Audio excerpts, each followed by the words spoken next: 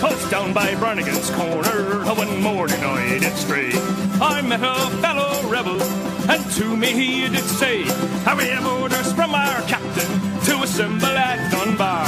About how are we to get there without a motor car? Oh, Barney dearie, how good cheer, I'll tell you what we'll do. The vessels may be plentiful,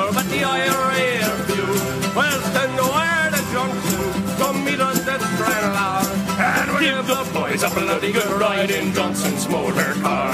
Oh, when Dr. Johnson heard the news, he soon put on his shoes. He said, This is an urgent case, there is no time to lose. He then put on his castor hat and on his breast a star. And you can hear the din all through Glenfin from Johnson's motor car. When he got to the railway bridge, the rebels he's there. Johnson knew the game was up, him made it there.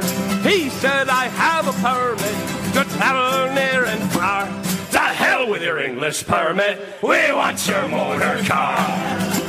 You're gonna blow, Kevin?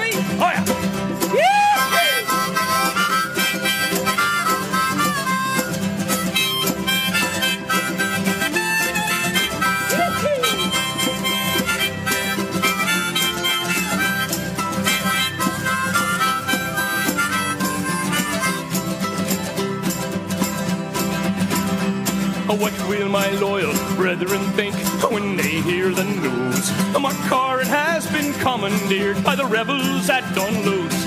I will give you a receipt for it, signed by Captain Barr.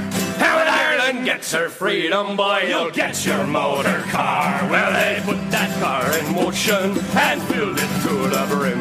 With guns and bayonets shining, made old Johnson grim. And Barney flag and it fluttered like a star.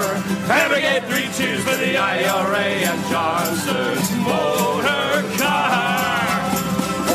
Up the Republic! Up the rebels!